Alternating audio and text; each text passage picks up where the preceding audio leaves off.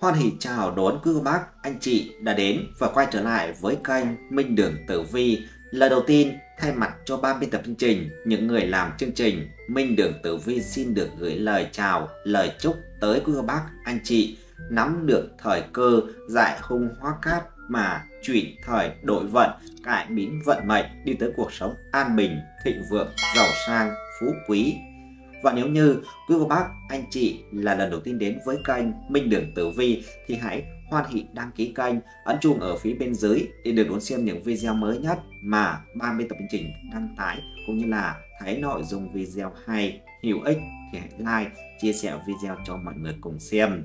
Quý cô bác, anh chị cũng đừng quên để lại ý kiến đóng góp ở phía bên dưới phần bình luận. Kênh Minh Đường Tử Vi chân thành cảm ơn quý cô bác, anh chị và trong nội dung video ngày hôm nay mà ban biên tập trình Minh Đường Tử Vi muốn gửi tới quý cô bác, anh chị đó chính là nội dung như sau.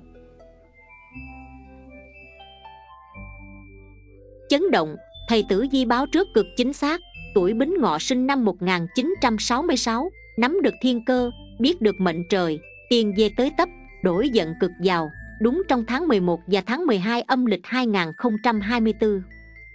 Quý vị thân mến, nếu ai hỏi tôi rằng điều gì khiến tôi rơi vào bế tắc nhất, khó khăn nhất thì đó chính là những chuyện liên quan tới tiền bạc. Quý vị thấy có đúng không ạ? À? Nhất là chuyện nợ nần tiền bạc đã khiến ta khổ sở vất vả bao năm. Thức trắng bao đêm mới lo toan trả hết được nợ, thậm chí hiện tại vẫn đang nợ ngập đầu mà chưa biết ngày nào mới trả được hết thế. Nhưng cuộc sống này vốn dĩ được hình thành từ đầy rẫy những chông gai, thác gần, ta hãy học cách mỉm cười để vượt qua chặng đường khó khăn này. Chỉ cần ta không bỏ cuộc, vượt qua khó khăn thì sẽ chiến thắng số phận nghiệt ngã, làm chủ cuộc đời của mình. Xem tử di trọn đời tuổi bính ngọ sinh năm 1966 trời sinh số mệnh đắc tài phú. Số này định rằng khi tiền giận phải chịu nhiều khó khăn, vất vả và sự túng thiếu trăm bề, nhưng bước sang giai đoạn cuối năm 2024 cuộc sống của bạn sẽ nở hoa khi đúng tháng 11 và 12 âm lịch tới này, bất ngờ phát tài.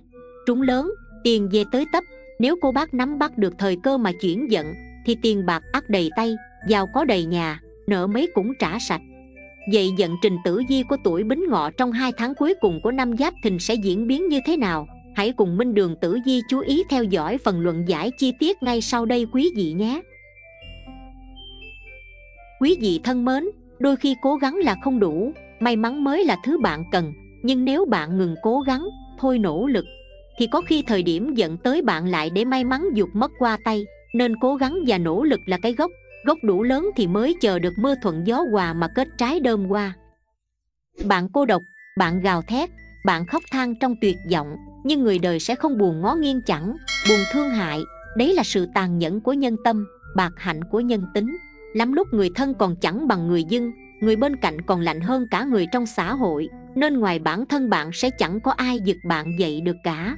Và cũng cần nhớ mệnh thiên hà thủy thường được trời giúp ở phút 90 của trận đấu. Nếu bạn đang ở phút 88, 89 trong giai đoạn quan trọng của cuộc đời cố gắng thêm một phút đợi đất trời giang tay.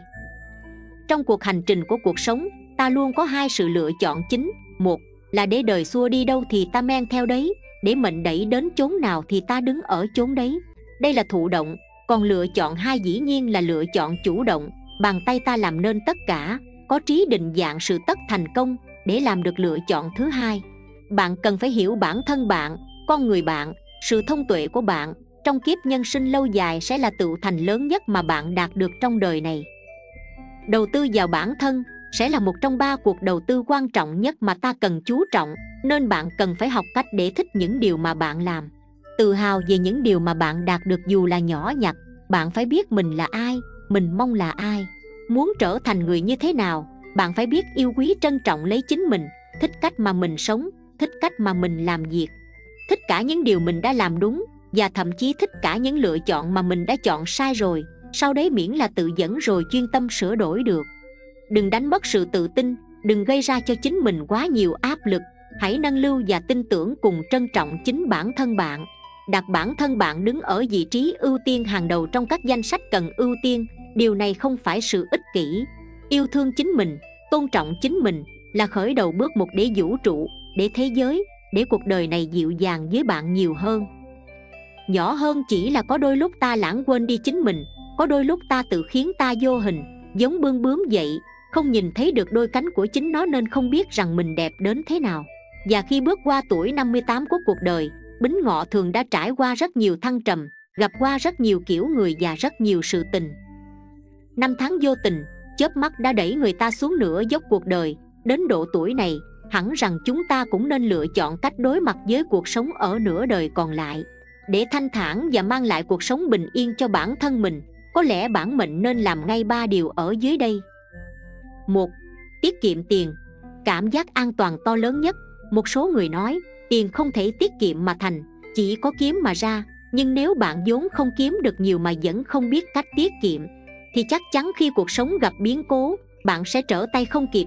Khi muốn thử thách bạn, Đời sẽ không bao giờ kiểm tra những gì bạn đã chuẩn bị, Mà chỉ thứ bạn đã bỏ qua. Những người tiêu xài quá mức, Mà không có sự tính toán và chừng mực Cũng là đang bòn rút tương lai của họ. Đặc biệt, khi con người ta bước vào tuổi trung niên, sự suy sụp thường bắt nguồn từ việc thiếu thốn tiền bạc sống trong xã hội ngoài kia, sự tôn trọng và thể hiện cũng được cân đo đong đếm bằng tiền và nguồn lực kinh tế. Người xưa có câu, có tiền thì có thể đi khắp thiên hạ, nhưng không tiền thì một tấc cũng chẳng bước nổi. Trong biển đời trong chân này, tiền bạc là chiếc già giúp neo đậu và qua sông, tuổi già sức yếu, không thể cứ trông cậy vào con cái, tự lập vẫn là điều quan trọng nhất. Có tiền bạc trong túi, làm gì cũng không cần xem sắc mặt của ai, cũng không phải sống phụ thuộc còn giúp mình chữa lành mỗi khi bệnh tật, đau ốm. 2. Tập thể dục để dưỡng sinh. Hầu hết ai cũng biết lợi ích của việc tập thể dục và rèn luyện sức khỏe, Nhưng vì lười biếng nên né tránh và trì hoãn. Người xưa nói, Cần cù thiên hạ vô sự. Lười biếng thế gian đại loạn, Có người đã già ở tuổi 60 Nhưng có người tuổi đã 80 Nhưng vẫn là cây lớn vững chãi tập thể dục là vũ khí tốt nhất của cuộc đời con người chống lại sự xói mòn của năm tháng tàn nhẫn, và nó cũng là liều thuốc tốt để chữa lành mọi thứ. Nền tảng của sắc đẹp là sức khỏe, và nền tảng của sức khỏe cần phải tập thể dục để duy trì. Những thay đổi do tập thể dục mang lại có thể không xuất hiện ngay lập tức, nhưng mồ hôi và nỗ lực bạn bỏ ra hàng ngày sẽ khiến bạn đủ đầy sức khỏe. Để tận hưởng hạnh phúc về lâu về dài giàu có hay tài giỏi, đến mấy mà không có sức khỏe thì mọi thứ cũng thành vô dụng. 3. Đọc sách và học tập để dưỡng tâm. Cổ nhân đã nói, Tuổi trẻ đọc sách như ngắm trăng qua khe hở, Tuổi trung niên đọc sách như ngắm trăng trong sân đình. Kinh nghiệm nông hay sâu, Cũng từ đây mà ra. Tùy thuộc vào độ tuổi cảm nhận và đúc kết khi đọc có thể khác nhau, Vì khi tuổi tác tăng dần, Chúng ta càng trân trọng tính trần tục và những thăng trầm của cuộc sống trong cuốn sách. Đến tuổi trung niên việc đọc không còn đơn thuần là đọc nữa, mà nhiều hơn là cảm giác và trạng thái tinh thần. Đây là sự tích lũy trí tuệ trong cuộc sống và đặt tâm hồn vào một thế giới phức tạp. Người tiếp thu cái mới thường sở hữu tâm hồn tràn đầy, được nuôi dưỡng bởi sách và ngôn từ. Đến tuổi trung niên, cuộc sống khó khăn. Nếu học tập nhiều hơn trao dồi bản thân, thì sự nghiệp mới có thể khởi sắc. Chỉ bằng cách học tập bạn mới tìm thấy đường đi trong lạc lối nhất thời. Tiếp theo Chúng ta hãy cùng đi vào tổng quan tử di của tuổi Bính Ngọ sinh năm 1966, quý vị nhé. Trời sinh tuổi Bính Ngọ có can và chi cùng hành quả, ngũ hành thuộc thủy, mệnh thiên hà thủy, là người có đầu óc thông minh, nhanh nhạy, vì hành thủy chủ trí tuệ. Nước mưa từ trên trời rơi xuống, nên vốn là một loại nước tinh khiết, vì thế bản mệnh cũng là người tinh tế, tao nhã, có tác phong làm việc nhã nhặn, lịch thiệp. Bính Ngọ hành lộ chi mã là người khá hướng ngoại, thích náo nhiệt cũng rất thạo chuyện xã giao, mặt trái là họ có bản tính tò mò, hiếu kỳ, hay lo chuyện bao đồng. Song cũng nhờ nhiệt tình giúp đỡ mọi người mà người này được rất nhiều người yêu mến, họ có óc thẩm mỹ cao, luôn biết cách phối hợp những bộ trang phục của mình sao cho sành điệu, đẹp mắt và hợp mốt nhất. Tuổi bính ngọ cả thèm chóng chán, luôn bị thu hút bởi những thứ mới lạ, bởi vậy cuộc sống của họ thay đổi chỉ trong chớp mắt trong công việc, họ rất năng động và nhiệt tình. Tuổi bính ngọ có thể đảm nhận nhiều công việc, nhiều vị trí khác nhau và năng suất lao động gấp nhiều lần người khác. Nhưng họ thường làm việc theo trực giác và hứng thú. Khi công việc ấy khiến tuổi bính ngọ cảm thấy nhàm chán, họ sẽ thay đổi và đi theo một luồng gió mới mẻ hơn. Cũng bởi sự thay đổi này mà đôi khi tuổi bính ngọ bỏ lỡ đi những cơ hội, giận may cho chính mình nhưng dù sao đó cũng là bản chất không thể thay đổi được của tuổi bính ngọ. Bù lại họ không ngừng vận động, khám phá và thể hiện sự đam mê của mình trong mọi lĩnh vực. Nhờ vậy mà họ cũng đạt được không ít thành tựu nổi bật. Tuổi bính ngọ, tuy không giỏi kiềm chế, che giấu cảm xúc của mình, bên ngoài họ thể hiện như thế nào thì tâm trạng của họ sẽ đúng là như thế, nhưng họ lại rất thật thà, thẳng thắn và có tấm lòng cao cả tốt đẹp. Họ là những người độc lập trong cuộc sống, không bao giờ dựa dẫm ỷ lại vào bất kỳ ai, bất kể là việc gì, dù đơn giản hay phức tạp. Tuổi bính ngọ đều là người đầu tiên hoàn thành nhiệm vụ, họ rất coi trọng danh dự, chữ tính của bản thân mình, bởi vậy khi được giao phó bất kỳ trọng trách nào, người này đều cố gắng hết mình để hoàn thành. Họ có nhiều ưu điểm đáng để người khác học tập, nhưng tuổi bính ngọ cũng có nhiều nhược điểm, thiếu sót cần khắc phục. Người này hay nóng nảy, dội vàng thiếu kiên nhẫn và hiếm khi chịu lắng nghe ai họ dường như chỉ quan tâm đến cảm xúc và suy nghĩ của cá nhân, mà không hòa đồng vào tập thể. Một công việc hôm nay có thể khiến tuổi bính ngọ vô cùng thích thú, hào hứng, nhưng ngày mai sẽ khiến cho họ nhàm chán, buông xuôi. Người tuổi này sẽ cảm thấy khó khăn để từ chối lời mời, lời đề nghị của người khác, dù họ không có hứng thú với việc đó. Đôi khi, sự mập mờ ấy đã đẩy họ vào những khó khăn. Rắc rối hết lần này tới lần khác nếu không muốn chuốc lấy phiền phức thì tuổi bính ngọ nên điều chỉnh hành vi của mình, học cách từ chối trong một số trường hợp.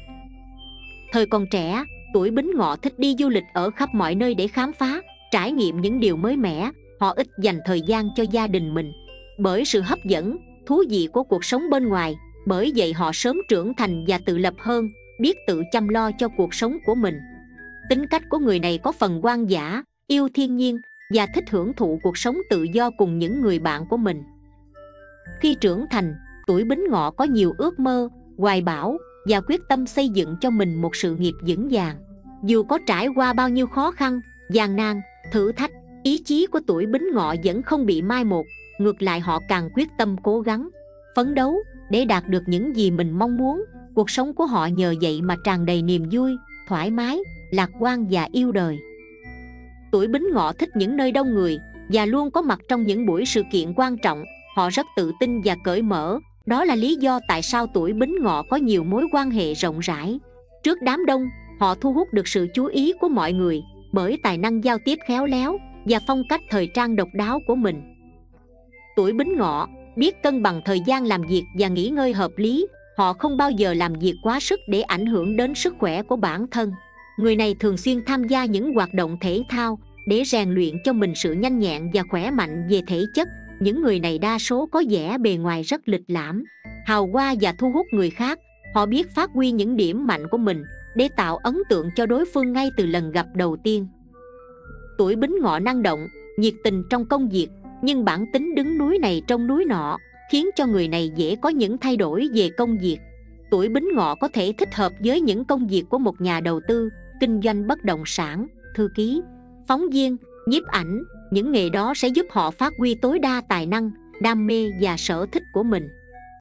Nếu như trở thành chủ kinh doanh, tuổi bính ngọ sẽ gặt hái được nhiều thành công lớn, tư duy logic và con mắt nhìn xa trông rộng, giúp họ có những đánh giá chính xác về nhu cầu thị trường, từ đó phát triển những mặt hàng đem lại lợi ích cho mình và mọi người xung quanh.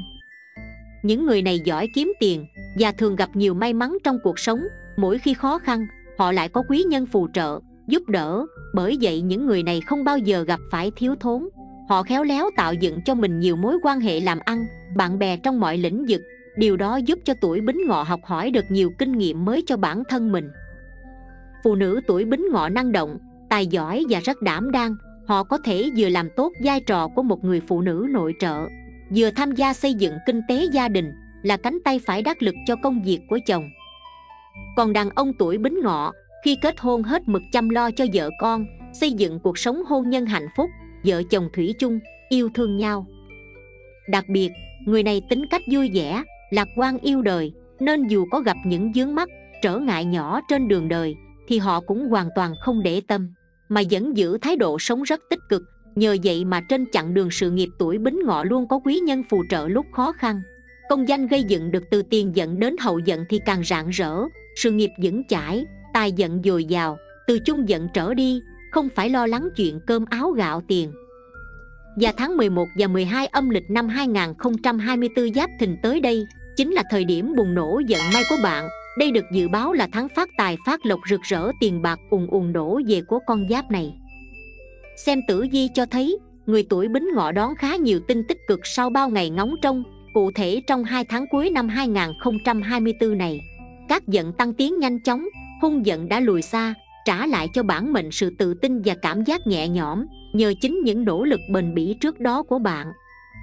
Được tam hợp cục hậu thuẫn, thêm cả các tinh chủ về công danh chiếu mệnh, sự nghiệp của tuổi bính ngọ trong hai tháng cuối cùng này sẽ tràn đầy may mắn. Mọi nỗ lực sẽ được đền đáp và chinh phục được những nấc thang quan trọng, những việc bạn làm đều được ghi nhận và đánh giá xứng đáng nếu đang muốn thực hiện việc gì đó quan trọng, thì có thể chọn thời điểm này để tiến hành. Chẳng những vậy, vận trình tài chính cũng đang trên đà tăng tiến. Có thể một lần nữa khẳng định rằng, may mắn đang đứng về phía con giáp này, bạn sẽ nảy ra nhiều ý tưởng kiếm tiền độc đáo, giúp tiến hành kế hoạch đã đề ra từ trước đó. Những khoản đầu tư lúc này có vẻ hứa hẹn, nhưng bạn vẫn chỉ nên đầu tư nhỏ thôi, bởi không thể nào lường hết được những rủi ro tiềm ẩn chuyện tình cảm của bính ngọ sẽ vô cùng đáng nhớ trong hai tháng tới, khi bản mệnh sẽ có khoảng thời gian thú vị và ngọt ngào bên cạnh những người thân yêu nhất của mình. Đối với những người độc thân, bạn sẽ có nhiều cơ hội để làm quen, gặp gỡ với người khác giới, và từ đó có thể tìm thấy một nửa của mình. Sức khỏe ổn định, khi các kế hoạch chăm sóc bản thân, rèn luyện thể dục thể thao của bạn đang phát huy tác dụng, bản mệnh nên duy trì các thói quen sinh hoạt của mình về lâu về dài về phương diện công danh, sự nghiệp. Xem tử vi sự nghiệp tháng 11 và 12 âm lịch của tuổi Bính Ngọ, đây là thời điểm mà con giáp này có nhiều bước phá trong công việc của mình. Tỷ kiên chiếu mệnh, con giáp này càng chủ động tìm kiếm cơ hội để khẳng định mình, thì càng được cấp trên đánh giá cao, bản mệnh đủ tự tin vào năng lực của mình. Thành công nối tiếp nhau chính là minh chứng rõ rệt nhất cho chuyện này, hai các tinh tử di và giải thần cùng xuất hiện trong tháng cuối năm này báo hiệu những may mắn sẽ đến với bản mệnh, những chú ngựa sẽ được cấp trên ưu ái, trọng dụng mà trao cho thêm trọng trách. Trong thời điểm cuối năm, sẽ có nhiều việc phải đẩy nhanh để kịp tiến độ, bản mệnh cần phải tỉnh táo và sáng suốt để không mắc sai lầm, muốn làm nhanh thì cách tốt nhất là làm bình tĩnh. Công sức đi sửa sai còn lâu gấp nhiều lần đó, việc gì mình có thể tự làm thì tốt nhất chớ nên nhờ giả người khác, ai cũng có việc của mình, nể nang nhau thì làm nhưng chẳng vui vẻ gì đâu. Tốt nhất hãy có trách nhiệm với nhiệm vụ được giao, đừng chơi trò đá bóng sang sân của người khác. Nhờ tinh thần trách nhiệm cao, con giáp này có thể trở thành cánh tay đắc lực của cấp trên đấy. Về phương diện tài lộc, xem tử vi tuổi bính ngọ, tháng 11 và 12 năm 2024 âm lịch, đường tài lộc của con giáp này đang cực kỳ khởi sắc. Điềm báo cho thấy tài lộc phát mạnh về thứ tài, chủ về nguồn thu phụ và tài lộc bất ngờ, sự may mắn sẽ mang về cho con giáp này nguồn thu khá lớn. Bản mệnh được chỉ lối dẫn đường, cho tìm thấy lối đi phù hợp nhất với mình trong thời điểm này. Đặc biệt, chuyện làm ăn kinh doanh của những chú ngựa sẽ khá suôn sẻ và thuận lợi. Cuối năm hàng hóa bán chạy như tôm tươi, dường như chẳng còn chút hàng tồn nào trong kho, vì hàng về đến đâu là khách dục phát hàng tới đó. Con giáp này hơn người ở chỗ nắm bắt được thị hiếu thị trường, cũng đón được đúng thời cơ nên bên cạnh may mắn là thực lực chẳng ai vượt qua được, tiền cũng vì thế mà thu về đầy túi. Nguyệt lệnh nằm ở đất lâm quan tuổi bính ngọ chẳng ngại nhặt nhạnh từng đồng tiền lẻ, cần mẫn chăm chỉ dù làm bất cứ việc gì, thành công chẳng thể nào chối từ được, những người có nghị lực lớn lao như bạn. Ở góc tây nam, góc của lục bạch phi tinh hai tháng này, mệnh chủ có thể đặt thêm vật phẩm phong thủy bằng thạch thạch anh vàng, thạch anh mắt hổ, hay chậu tụ bảo, cây dung tiền để giúp tài lộc thêm phần dưỡng phát. Về phương diện tình cảm gia đạo, xem vận trình tình duyên tuổi bính ngọ tháng cuối năm giáp thìn, bản mệnh có được hạnh phúc mà nhiều người mơ ước, gia đình hòa thuận ấm êm, vợ chồng thấu hiểu và thông cảm cho nhau, con cái ngoan ngoãn thông minh. Tuy nhiên, chẳng phải tự nhiên mà có được hạnh phúc lớn tới vậy đâu, con giáp này cũng phải đi qua bao nhiêu sóng gió, kiên trì giữ vững tình yêu của mình thì mới có thể có được tổ ấm bao người mơ ước. Bạn hiểu rằng những mâu thuẫn, những xung đột trong cuộc sống là điều chẳng thể tránh khỏi. Tuổi bính ngọ chấp nhận điểm thiếu sót của đối phương. Nhìn vào mặt tốt của nhau để sống, một số cặp đôi tháng này sẽ đón thêm tin vui về con cái sau bao tháng ngày ngóng trông. Hãy chuẩn bị tinh thần để chào thiên thần nhỏ đến với thế giới này. Về phương diện sức khỏe. Sức khỏe là điều mà ai cũng quan tâm khi xem tử vi vận mệnh của mình, sức khỏe của những người tuổi bính ngọ năm 2024 có liên quan mật thiết đến công việc, khi công việc quá nhiều bạn cần điều chỉnh lại sao cho phù hợp, để tránh hao tổn sức khỏe. Vào hai tháng cuối năm 2024 người tuổi bính ngọ sẽ phải chăm sóc bản thân thật tốt, và đặc biệt là sức khỏe tâm trí và tim mạch. Bạn nên giữ tâm thái bình tĩnh, và tham gia các hoạt động có lợi cho thể chất của bạn.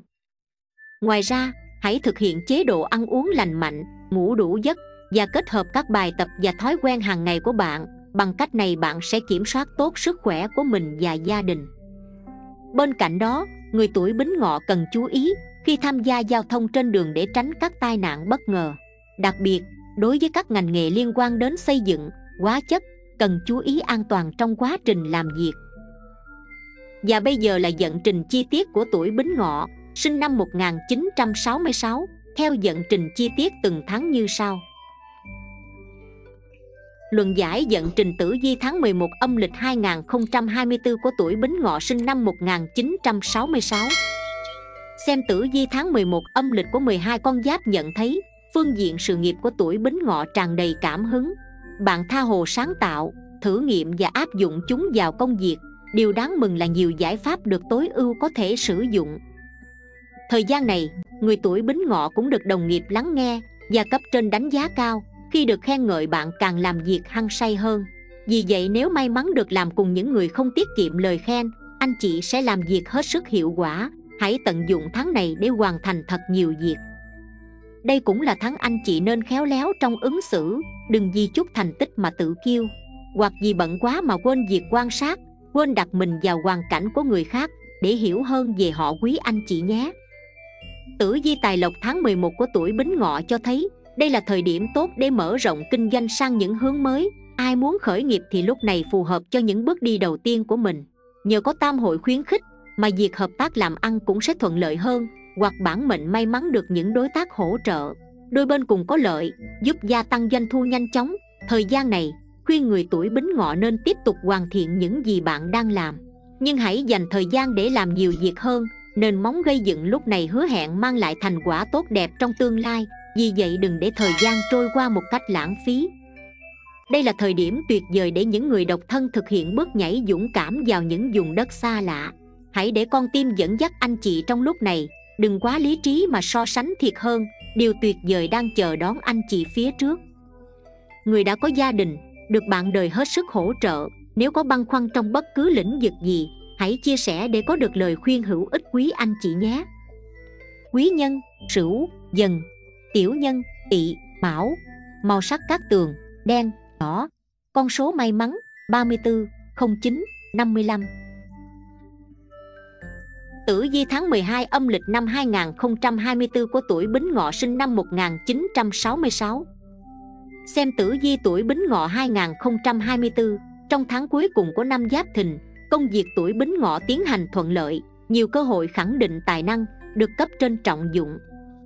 Tháng này Bính Ngọ lại càng thêm may mắn Nhờ sự ảnh hưởng tích cực từ các tinh tử di Miễn là bạn tin vào năng lực của bản thân Thì không có gì có thể quật ngã được bạn. Bằng cách học hỏi không ngừng để nâng tầm giá trị mình lên Bạn ngày càng tiến bộ hơn trong công việc Và được nhiều người hỗ trợ. Tháng cuối năm tốt cho những việc như ký kết hợp đồng Hợp tác làm ăn, tuyển nhân viên mới hoặc sửa sang cửa hàng, Nếu làm tự do thì bạn sẽ được một quý nhân chỉ đường dẫn lối vào lúc bế tắc nhất. Xem tử vi hàng tháng Tháng này thứ tài khởi sắc mạnh, Tuổi bính ngọ gặp nhiều may mắn về tiền bạc, Đây là cơ hội tốt cho đầu tư. Kinh doanh, Nắm được xu thế và thị hiếu của thị trường, Đảm bảo bản mệnh sẽ thu tiền đầy túi trong tháng này, Tình cảm vợ chồng hài hòa, Gia đạo yên ổn, Một vài mâu thuẫn giữa cha mẹ và con cái sớm được khắc phục. Một vài cặp đôi đón tin vui về chuyện con cái. Sức khỏe tốt, Duy trì thói quen ăn uống khoa học Và luyện tập thể thao sẽ đẩy lùi nguy cơ bệnh tật. Chú ý đi lại dịp này đông đúc, đề phòng tai nạn bất ngờ hoặc bị cướp giật tiền của tài sản.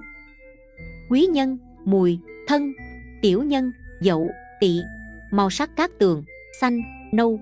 Con số may mắn 23 91 11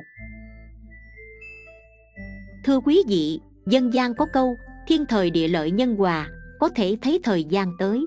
Người tuổi bính ngọ sẽ có cả thiên thời địa lợi, chỉ còn thiếu yếu tố nhân hòa nữa là mưu sự lớn dễ thành, gặt hái thành quả rực rỡ. Và để giúp bản mệnh tuổi bính ngọ dễ dàng tìm được quý nhân và tránh kẻ tiểu nhân, sau đây sẽ là những tuổi hợp kết giao với tuổi bính ngọ, sinh năm 1966 dựa theo căn chi ngũ hành. Một người tuổi bính ngọ với tuổi tý. Trên phương diện hợp tác làm ăn, những mặt đối lập, trái ngược lại càng giúp họ bổ sung, hỗ trợ nhau. Cùng chung mục tiêu và lý tưởng, đây có lẽ là một sự hợp tác khá ăn ý, đạt hiệu quả cao và gặt hái được nhiều thành công. 2. Người tuổi bính ngọ với tuổi sửu. Trên phương diện đối tác làm ăn, Chưa chắc cặp đôi này đã đạt được thành công như mong muốn, Bởi ngọ hay thay đổi. Không có mục tiêu hướng đi rõ ràng Và sửu sẽ không thể chịu được khi luôn phải chạy theo những ý tưởng của ngọ 3. Người tuổi bính ngọ với tuổi mão Trên phương diện hợp tác làm ăn, Sự kết hợp giữa mão và ngọ chưa đạt được hiệu quả cao, bởi ngọ thiếu đi kiên trì, nhẫn nại, còn mão lại thiếu đi sự thực tế, bởi vậy không ít lần mối quan hệ này xảy ra mâu thuẫn, xung đột 4. Người tuổi bính ngọ với tuổi dần nếu trở thành đối tác làm ăn, Họ cũng sẽ dễ dàng ăn khớp với nhau, Bởi dần và ngọ đều có chung mục tiêu, Quan điểm và sở thích Tuy nhiên cũng có đôi lúc mối quan hệ này xảy ra nhiều mâu thuẫn, Không ai chịu nhường ai, Do cái tôi của cả hai đều quá mạnh mẽ 5. Người tuổi bính ngọ với tuổi thìn Mối quan hệ hợp tác làm ăn của thìn và ngọ sẽ mang đến hiệu quả cao và đạt được nhiều thành công ngoài mong đợi, Rồng và ngựa đều là những người phóng khoáng, Nhanh nhạy và thông minh Họ dễ dàng trở nên hòa hợp trong từng kế hoạch, dự định Đặc biệt là rồng sẽ mang lại nhiều may mắn cho công việc và cuộc sống của ngựa 6. Người tuổi bính ngọ với tuổi tỵ Cũng do những điểm khác biệt, trái ngược ấy mà mối quan hệ hợp tác làm ăn của họ khó có thể lâu dài bền vững được bởi thực tế ngọ và tỵ đều có những hướng đi riêng mục tiêu riêng không thể thống nhất hòa hợp với nhau được 7. Người tuổi bính ngọ với tuổi ngọ. Công việc làm ăn của hai người tuổi ngọ sẽ rất phát triển và đạt được nhiều thành công. Họ rất chăm chỉ và luôn bận rộn với khối lượng công việc của mình. Chừng nào chưa đạt được mục tiêu, tuổi ngọ sẽ không bao giờ chán nản, bỏ cuộc. 8. Người tuổi bính ngọ với tuổi thân.